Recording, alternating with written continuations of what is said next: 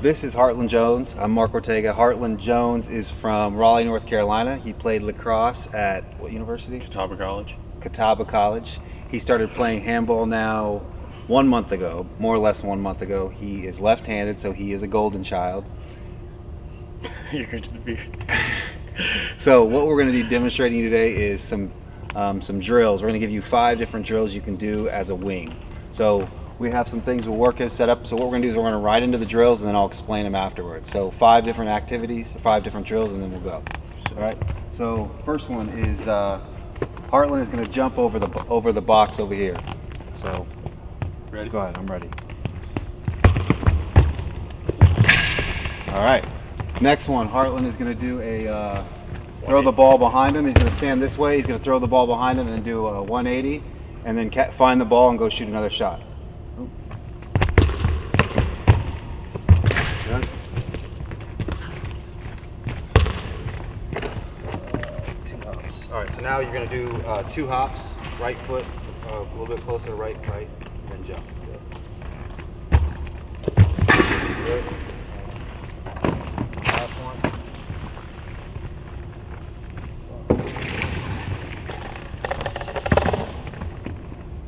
So you do a regular wing shot, you gotta come, catch it with, grab it with two hands and shoot. Okay. Here we go, go.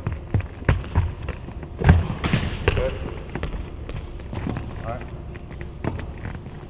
Last one, you're gonna lay on your stomach and you're gonna explode out of it. And I'm gonna give you a pass. Explode out like you're a track, track star. Yep. Go. Oh. Good. Progress. Last thing over here.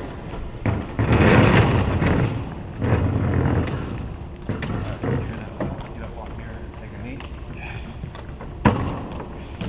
There we go. And now you're just gonna shoot a couple shots. Okay. One more. Alright. Alright, come right back over here. Oops. You come back over here. Okay.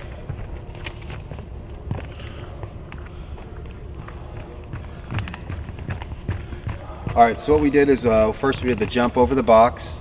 This is uh, to get you in a good position before you start the drills. So that means you'll get in the air and you'll be in a good handball position. You'll make sure you lift both your legs and you'll be that nice tight ball to explode out.